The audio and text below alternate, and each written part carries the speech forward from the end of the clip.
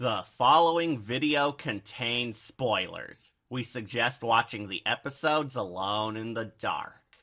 Hello, Wolfpack! We're back! And this week, we return to the underrated horror web series Crypt TV. But this time, everyone's favorite horror YouTube channel is taking their hit show straight to the hood. You know what that means. Time for my rap number. What, what? Check it out. Yo, yo, yo, Pink is my name. Ask me again, I tell you the same. Now you better go if you need to pee, cause we're catching up with Crypt TV. Stop it! Stop! Stop! Stop! Pinky Die, what the hell are you doing? Working on my sweet beats, Holmes. Uh, Pinky, I thought we agreed we weren't going to do any musicals on the show. But what about my career? It was dead when it began! Now, Pinky, please stop this foolishness at once. You're a doctor. Right now, I need you down at my laboratory to help with my research. No. What? But Pinky, you're a doctor, not a rap star. I need your help aiding my more important research. Are you seriously going to use our resources and precious time on this reviewing crap? Cat's our friend too. He needs our help more. To be fair, she is trying to help the new guy. Cat is still getting used to. Silence! The new cat can manage things on his own. What I'm doing is more important. So, Pinky, I demand that you stop this absurdity at once and work for me now.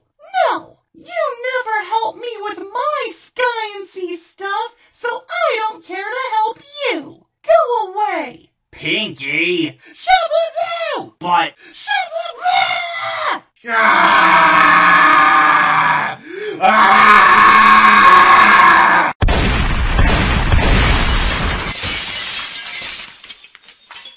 What's with him? Oh, he's just on his period.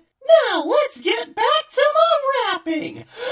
Um, actually, Pinky, I think the moment has passed. It's not going to, uh, flow well now, yo. Maybe next time. Aw, fiddlesticks! That stupid grumpy cat! I swear, I'll make him pay for everything! One day! One day! What do you mean? Oh, nothing! Carry on! Okay, then. Well, Wolfpack, Crypt TV wants to take their saga to the streets to show us the dark side of gang war. But what can be scarier than gang wars? Monsters drafted into gang wars. Yep, Crypt TV wants to have a haunted ghetto tale. But does this Tales from the Hood special achieve its badass street cred? Or is it just another poser who's all flash with no substance? Well, that's what we plan to find out. So be sure to know what side you stand on, because this nightmare is about to get hardcore. This is our wacky review on the Wild Side Crypt TV short film, Dread.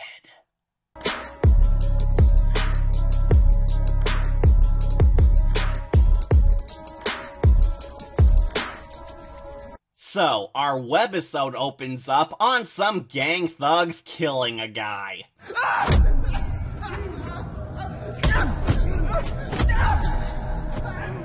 Starting us out on a happy note, huh, Crypt TV? We then meet our main villain, this smug evil cow who's the self-appointed mean queen bee of these streets. A lady obviously dubbed King.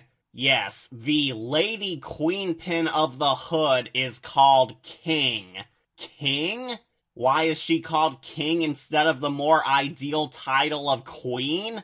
so she can rebel against the patriarchy and all that junk. Cause she's a strong woman. Whatever, King and her crew are, like all gang thugs, generic idiot bullies who love to pick on the weak and defenseless. We learn how she rose to power when she reveals that she has a magic talisman, which controls a demon from hell. A demon she summons to kill off the dying guy. Cross the dread, bleed the red.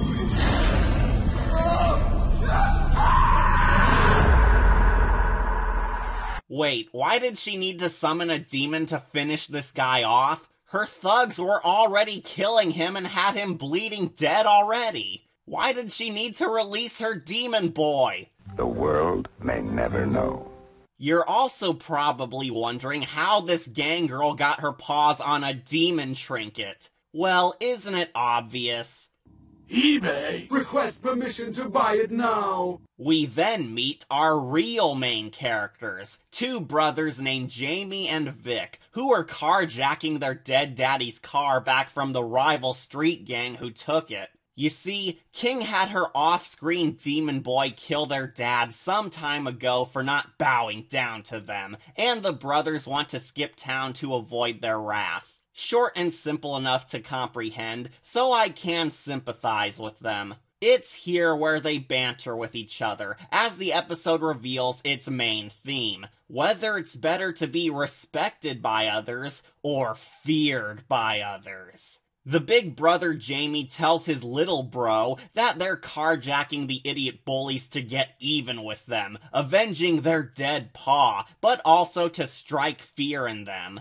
Show them they mean business. However, the main brother, Vic, thinks violence only leads to more violence, believing that you're better if you're respected in life and treat others how you want to be treated. Admirable idealism, but sadly his brother's not having none of that Optimus Prime bullcrap and committing crime anyway. But then they hear something strange going on nearby. So of course they have to check it out. Uh, Why? Why do you need to check out strange death noises in a dark alley? You know you're in rival gang turf, and yet you have to check out some ominous noises far away. You guys are morons. Yeah, big shock, they get captured by the rival gang because stupid, where the Witch King confronts them. Alone, in a wide open space, with numerous ways for the guys to get out and escape. So, pop quiz time, Wolfpack. Now, these two perfectly able bodied brothers, armed with weapons, are confronted by this petite woman barely blocking their path. So, what are they going to do? Will they A. Run around her, B. Bum rush her and escape, C. Kill her and jack her car, or D. Stand there and do nothing while she monologues? look, we didn't see anything, okay? That sounds good. But the thing is, I know who your dad was. So that means I know who you are. And your promises, they don't mean a thing to me. Uh, Dang it, Crypt TV. I thought you were above idiot moments in horror stories. Ugh. So basically, the bros sit there like dolts while King gloats how fear is stronger than love because she evil. But the angry brother Jamie rather needlessly sacrifices himself to save innocent Vic once the dread demon is unleashed making it the first time we see the demon, dubbed Dread, fully on screen. And boy howdy does the demon look wicked. He looks kind of like a Xindi reptilian from Star Trek Enterprise. Real epic design work. And as you can guess, Dread lives up to his title when he slays. Cross the dread, bleed the red.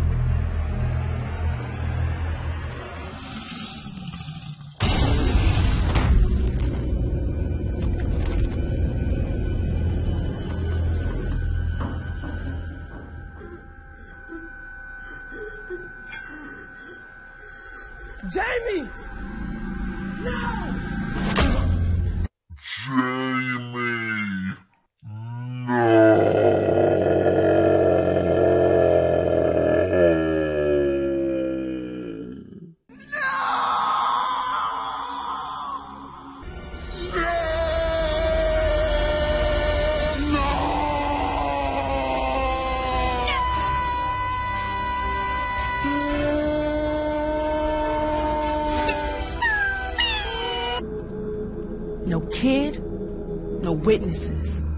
Understood? Got it. Yeah. Wait, you don't want any witnesses? Why? You're a gang. You're trying to strike terror on the streets to show how you're badass and no one should screw with you. Yet you don't want any witnesses telling people how scary you and your pet demon are? Huh? What's with this chick? The world may never know. So, the rest of this horror story is essentially a long Scooby Doo chase scene where our tragic buddy Vic desperately tries to hide from the demon gang as our bastard villains hunt him down. Dooby dooby doo, where are you? We got some work to do now. Scooby dooby doo, where are you? We need some help from you now.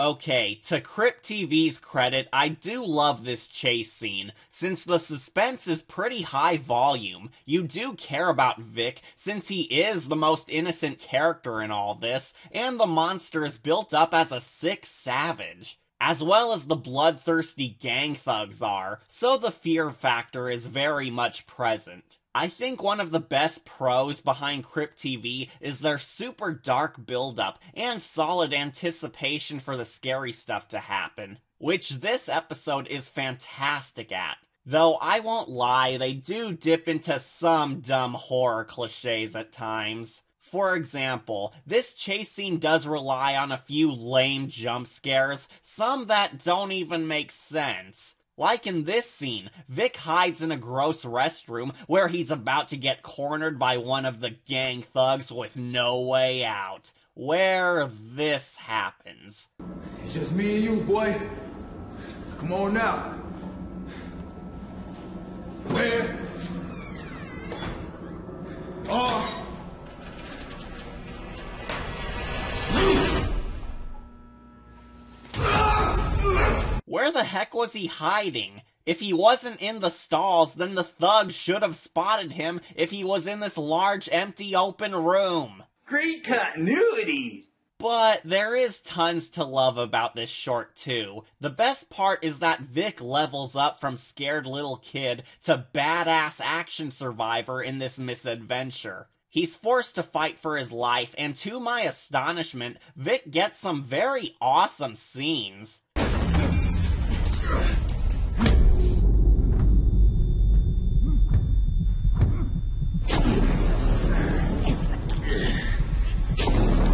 brother ain't here to save you.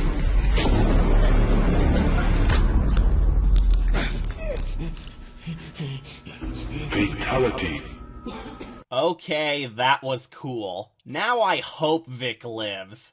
I also enjoy how Crypt TV isn't just relying on the monster to provide all the horror. There's a few moments where they highlight the terrifying reality of gang violence and bullying. This is real helpful in telling the story over whether or not Vic will be broken by this trauma or stay strong by sticking to his faith and good when challenged. Really deep stuff for a short movie. Speaking of the high ground, Vic hides from the gang again, where he discovers that the Demon Dread is also mistreated by his own crew. We find out that Dread is really an innocent creature who hates killing, but the Lady King is forcing him to do her bidding since she controls him through her magic necklace, meaning that he has to obey her because it also protects her from him.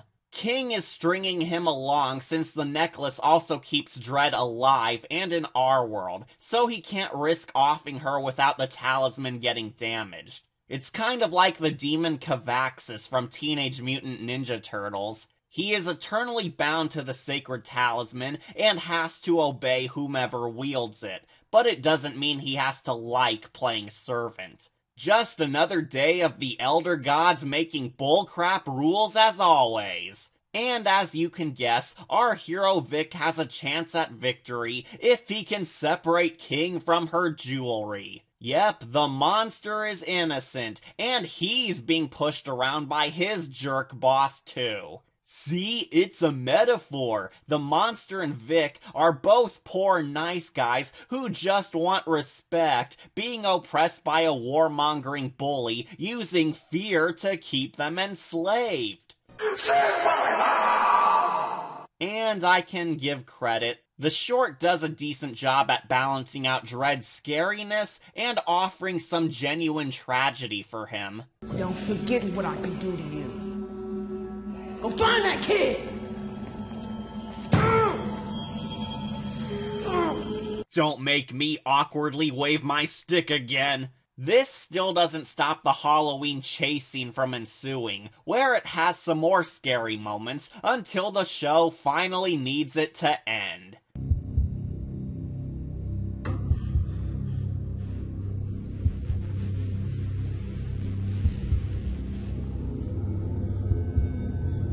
Alright, I think I'm safe. Gee, who didn't see that one coming?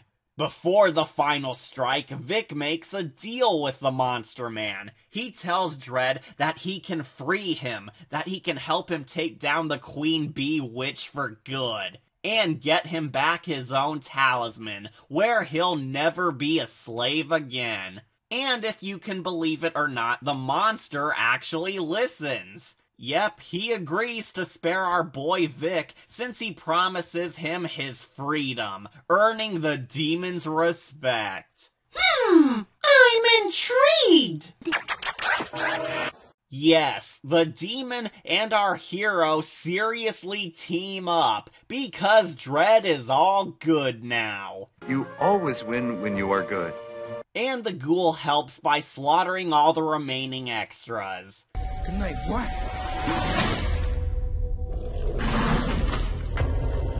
Betrayal.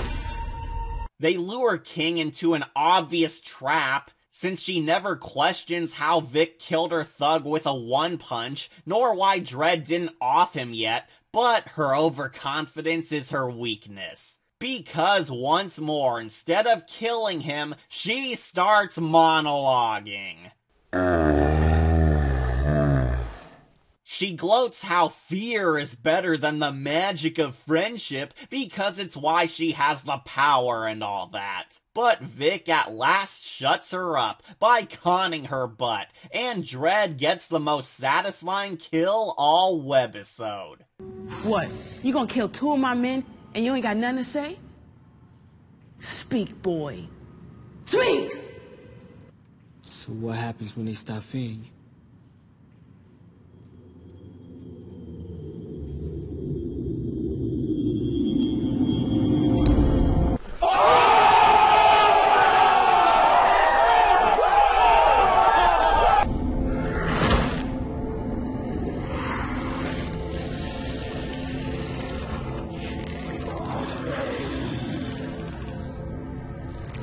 Got a taste of your own medicine, huh? Cross the dreads, you bleed the red.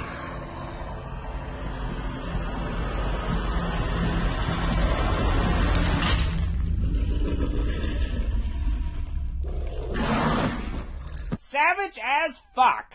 You know, Crypt TV, in spite of your forced idiot moments, that was pretty cool. Kudos. So yay, the day is saved, and the ghetto no longer has magic problems. Vic keeps his word and sets Dread free, literally leaving his life in his own hands now. Where the episode actually has the duo giving each other respect. It's so dumb, but I love it. I just think it's so funny yet somehow awesome that the demon seriously gives the hero a look of respect and becomes buddies. It's just amusing. And the tale ends with the monster running off into the night, while Vic goes off to find himself in his new fresh start, at last giving respect to the one person who mattered the most himself. Wow. Goosebumps, man. I got 'em. All the R.L. Stine books. So, uh, why didn't Vic ever bury his dead brother's corpse? No data available. And that was the end to the surreal Crypt TV short, Dread. How does it hold up? Well, I'd say it's pretty dang respectable. As always, Crypt TV's production values are through the roof. This is another competently made horror film that does feel a thousand times better than most modern horror stories are. The effects are good, the violence feels brutal, the set looks gritty, the tone feels real, the main character is likable enough to root for, the demon is terrific, and the lesson is pretty effective. This is clearly a cautionary tale teaching people the power of fear versus the power of respect. With fear, you have nothing but betrayals and hatred coming your way, since some people don't back down to threats. But with respect comes trust and friendship. Things that people do need more of in life, since ultimately they pay off for Vic and save the day. The episode also shines a light on the gang violence ruining lives, and reveals that gangs are nothing more than idiot bullies who can be stopped when stood up to. Which I do like, since most of these crime dramas simply play it safe and say don't join a gang and leave it there. But Crypt TV had the hero end a gang in self-defense. We see that he didn't decide to kill them to avenge his dead brother, or even his long dead father, but he fought them to free the monster. A creature who was just another victim of some oppressor, not out of personal vengeance. I kind of admire that twist, since it makes it feel more impactful than a generic revenge story. Sadly, there is one thing I did not like in this webisode. The idiot moments. I said it before, but I'll say it again. I am so sick and tired of idiot decision making in horror stories. It especially pisses me off here since I know Crypt TV is smart and could have easily written around them. I know this is a short film and we have to get the plot rolling, but idiot moments just cheapen the experience because they exist to force out scary moments rather than giving us something more creative. Sorry, Crypt TV, I love ya, but you could have done better. That being said, I still think this short is great overall. There were clever writing tactics here, the main protagonist and the monster are epic, the effects are good, the makeup is sweet, and the lesson is supremely solid. Overall, this is a journey worthy of great appreciation. So, I grant this webisode a gold skull. Sadly, no perfect score because idiots. However, I definitely recommend seeing this one, since it leans more on the best of Crypt TV spectrum. It's just so fun, emotional, and exciting to sit through, with a new spin on horror material that, in my eyes, succeeds at nice experimenting. While Crypt TV going to the hood might sound eye rolling, it excellently shows that there's still a lot to dread. Remember to like, comment, share, and subscribe, or just tune in for more videos posted here on Wolf Entertainment. I'm your host, Catastrophe, and I think we should end this showcase with the best rapper ever. you mean? Yep, let her rip. I like pig butts, and I cannot lie. I love them till when pigs fly. When a sound walks in with an itty bitty snout and a round thing sticking out, you gotta dunk. You can't get enough when you notice those trucks are stuffed. deep in my dress, I'm so sure it's probably not kosher. Oh, piggy, you know I ain't faking. I wanna bring home the bacon. My Muppet's trying to stop me, but watch out, Kermit knows karate. Oh, little pig, let me in. You say you wanna go to your pen? Well, excite me, delight me, cause you are the other white meat. I've heard her singing, and my ears are still ringing. I see, she's got her going like a big Harley. I'm tired of magazines saying pigs are so unclean. Take the average pig and then look at Rizzle that nasty rat. So frogs, frogs, with a girlfriend all real hog. You know, shaking, shaking, shake that back bacon. Piggy got back.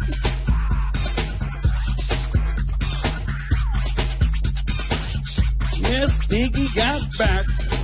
Dial 1 900 Crooks a lot, cause frogs know how to hip hop. Piggy got back. Get it? Frogs, hip hop. Yeah, whatever. Miss Piggy got back. Yo, too legit. Too legit, Ribbit. Too legit. Too legit, Ribbit. Yo, yo, yo, this is Kermit the Frog, but you can call me Sir Crooks a lot. And we'll see you next time on The Muppet Show. Yo.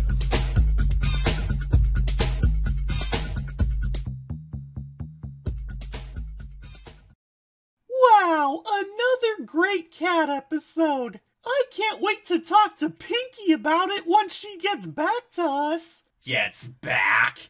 Gets back? You think she's going to come back to help us? Don't make me laugh. Pinky is obviously done working with us. What do you mean? Pinky's our friend. She'll come around eventually. Oh, wake the hell up, scaredy cat. She doesn't like you. Pinky is not really your friend. She's besties with the new cat now. He's the center of her universe after all. Huh?